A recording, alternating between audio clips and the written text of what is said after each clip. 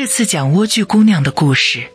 从前有一个男人和一个女人，他俩一直想要个孩子，可总也得不到。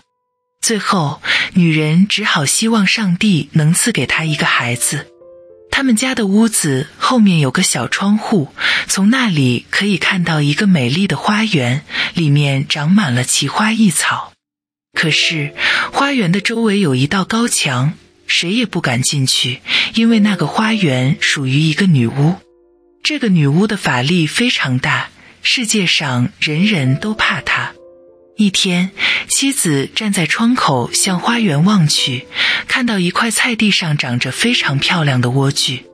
这些莴苣绿油油、水灵灵的，立刻就勾起了她的食欲，非常想吃它们。这种欲望与日俱增，而当知道自己无论如何也吃不到的时候，她变得非常憔悴，脸色苍白，痛苦不堪。她丈夫吓坏了，问她。亲爱的，你哪里不舒服呀？啊，她回答：“我要是吃不到我们家后面那个园子里的莴苣，我就会死掉的。”丈夫因为非常爱她，便想，与其说让妻子去死，不如给他弄些莴苣来，管他会发生什么事情呢？黄昏时分，他翻过围墙，溜进了女巫的花园，飞快地拔了一把莴苣。带回来给他妻子吃，妻子立刻把莴苣做成色拉，狼吞虎咽地吃了下去。这莴苣的味道真是太好了。第二天，他想吃的莴苣居然比前一天多了两倍。为了满足妻子，丈夫只好决定再次翻进女巫的园子。于是，黄昏时分，他偷偷地溜进了园子。可他刚从墙上爬下来，就吓了一跳，因为他看到女巫就站在他的面前。“你好大的胆子！”他怒气冲冲地说，“竟敢溜进我的园子来，像个贼一样偷我的莴苣！”“哎，他回答，“可怜可怜我，饶了我吧！我是没办法才这样做的。”我妻子从窗口看到了你园子中的莴苣，想吃的要命，吃不到就会死掉的。女巫听了之后，气慢慢消了一些，对他说：“如果事情真像你说的这样，我可以让你随便采多少莴苣，但我有一个条件，你必须把你妻子将要生的孩子交给我，我会让他过得很好的，而且会像妈妈一样对待他。”丈夫由于害怕，只好答应女巫的一切条件。妻子刚刚生下孩子，女巫就来了，给孩子取了个名字叫莴苣，然后就把孩子带走了。莴苣慢慢长成了天底下最漂亮的女孩。孩子十二岁那年，女巫把她关进了一座高塔。这座高塔在森林里。既没有楼梯，也没有门，只是在塔顶上有一个小小的窗户。每当女巫想进去，她就站在塔下叫道：“莴苣，莴苣，把你的头发垂下来。”莴苣姑娘长着一头金丝般浓密的长发，一听到女巫的叫声，她便松开她的发辫，把顶端绕在一个窗钩上，然后放下来二十公尺。女巫便顺着这长发爬上去。一两年过去了，有一天，王子骑马路过森林，刚好经过这座塔。这时，他突然听到美妙的歌声，不由得停下来，静静地听着。唱歌的正是莴苣姑娘，她在寂寞中只好靠唱歌来打发时光。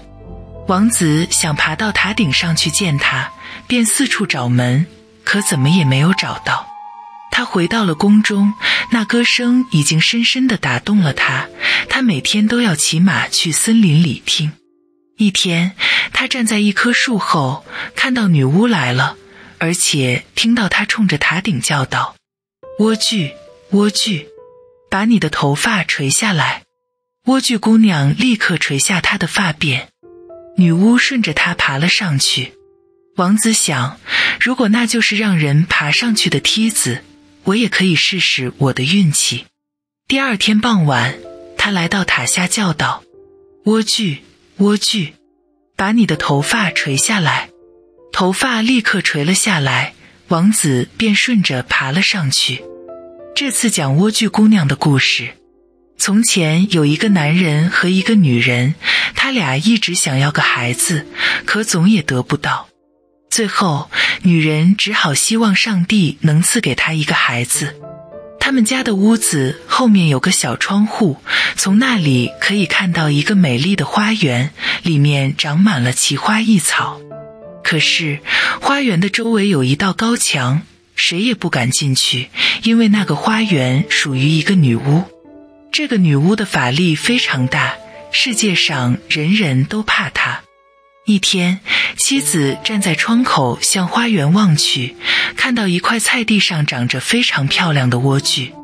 这些莴苣绿油油、水灵灵的，立刻就勾起了她的食欲，非常想吃它们。这种欲望与日俱增。而当知道自己无论如何也吃不到的时候，她变得非常憔悴，脸色苍白，痛苦不堪。她丈夫吓坏了，问她：“亲爱的，你哪里不舒服呀？”啊，她回答：“我要是吃不到我们家后面那个园子里的莴苣，我就会死掉的。”丈夫因为非常爱她，便想。与其说让妻子去死，不如给她弄些莴苣来，管他会发生什么事情呢？黄昏时分，他翻过围墙，溜进了女巫的花园，飞快地拔了一把莴苣，带回来给他妻子吃。妻子立刻把莴苣做成色拉，狼吞虎咽地吃了下去。这莴苣的味道真是太好了。第二天，他想吃的莴苣居然比前一天多了两倍。为了满足妻子，丈夫只好决定再次翻进女巫的园子。于是黄昏时分，他偷偷地溜进了园子。可他刚从墙上爬下来，就吓了一跳，因为他看到女巫就站在他的面前。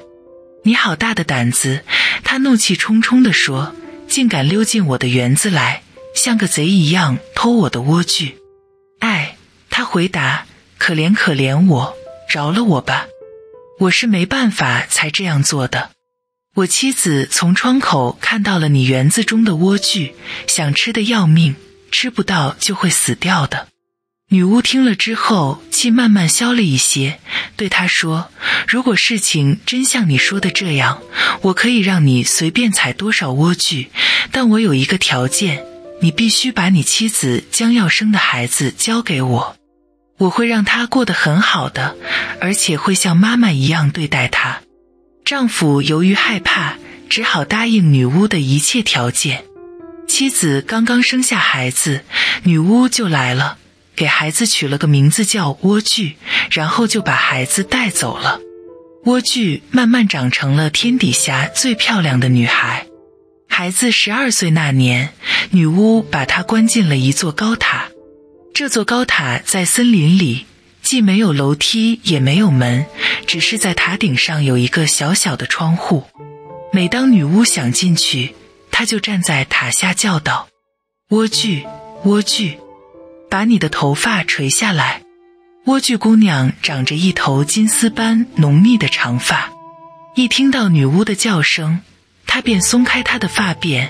把顶端绕在一个窗钩上，然后放下来二十公尺，女巫便顺着这长发爬上去。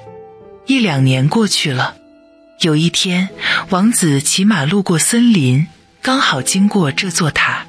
这时，他突然听到美妙的歌声，不由得停下来，静静地听着。